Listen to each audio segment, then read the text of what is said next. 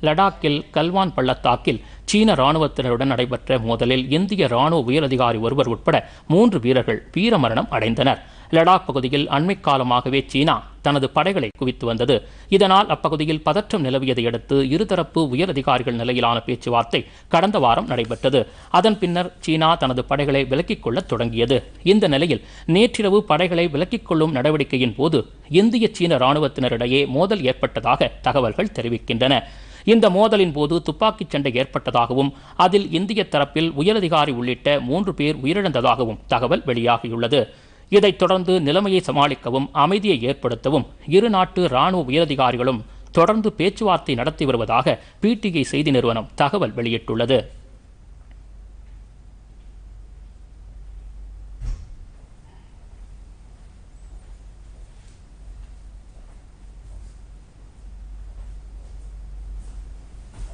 இதனிடையே லடாக் நிலவரம் தொடர்பாக பாதுகாப்புத்துறை அமைச்சர் ராஜ்நாத் சிங் வெளியுறவு அமைச்சர் ஜெய்சங்கர் முப்படைகளின் தலைமை தளபதி பிபின் ராவத் ஆகியோருடன் இன்று அவசர ஆலோசனை நடத்தினார்.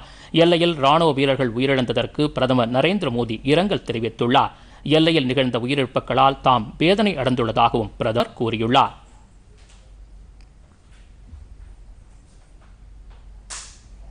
சீன வீரர்களுடனான மோதலின் போது உயிரிழந்த மூன்று இந்திய வீரர்களில் ஒருவர் ராமநாதபுரம் மாவட்டத்தைச் சேர்ந்த பழனி என்பது தெரியவந்துள்ளதாக தகவல்கள் தெரிவிக்கின்றன.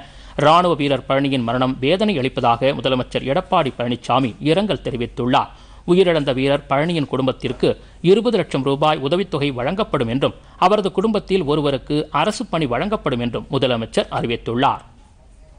ராணுவ வீரர் பழனியின் உயிரிழப்புக்கு திமுக தலைவர் மு க ஸ்டாலின் மதிமுக பொதுச் செயலாளர் வைகோ தமிழ்நாடு காங்கிரஸ் கமிட்டி தலைவர் கே எஸ் அழகிரி உள்ளிட்டோரும் இரங்கல் தெரிவித்துள்ளனர்.